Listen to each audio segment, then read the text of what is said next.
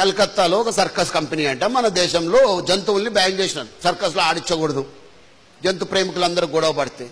So ఆ company వాళ్ళు ఏం చేసిందంటే పది పులుల్ని తీసుకుపోయి అడవుల్లో వదిలేసిండట వారం రోజుల తర్వాత ఆ పది పులుల్లో ఏడు పులుల్ని అడవి కుక్కలు వేటాడి చంపిస్తాయంట విన్నారా గమ్మత్తు? పులుల్ని ఎవరు వేటాడినారు? అడవి కుక్కలు. పులులు అంత ఈజీగా ఎట్లా చచ్చిపోయినా చెప్పండి?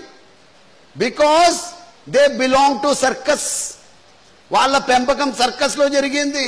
వాడికి రెడీమేడ్ ఫుడ్ తినడం అలవాటు అయిపోయింది వేట అన్న న్యాచురల్ స్వభావాన్ని ఆ పులులు మర్చిపోయినాయి అవి పసిగట్టిన అడవి కుక్కలు వీక్ అయినా సరే అవన్నీ కలిసి కట్టుగా దాని మీద దాడి చేసి చంపేయడం జరిగింది.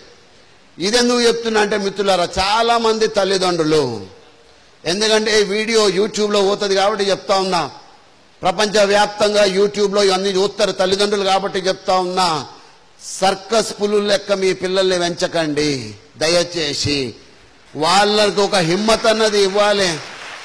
చాలా మంది తల్లిదండ్రులు చెప్తున్న పొరపాటు. ముద్దుగా పెంచు ముద్దుగా. నా బిడ్డకి ఏమవ్వద్దు బండిలో కార్లో దింపుతాడు వాడు బుడ్డోడు వాని కారు ఎందుకు చెప్పండి? ఒక స్కూల్లో ఎల్కేజీ పూర్వానికి అడ్మిషన్ కోసం వెళ్తే ఎంతరయ్యా ఫీజు అంటే లచ్చా? లచ్చెందుకురా అయ్యా? రయ్యా అందరూ కూర్చోబెట్టి ఏబీసీడీలు చెప్తారు మేము పనుకోబెట్టి ఏసీలో చెప్తామంట హ? వానికి పనుకోబెట్టి చదువు చెప్తే చదువు అంటుతుందా? అరే అబ్దుల్ కలాం గారు ఎట్లా పోయినారు స్కూల్కి? పెద్ద పెద్దోళ్ళు ఎట్లా పోయినారు స్కూల్కి?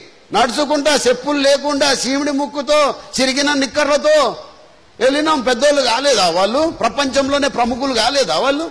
వీరికి చిన్నప్పటి నుంచి సుకుమారంగా పెంచితే పెద్దగైతే వానికి చిన్న కష్టం వస్తే వాడేం బతుకుతాడని ఆ జీవితాన్ని బతకలేడు. అరే స్ట్రాంగ్గా తయారు చేయాలి.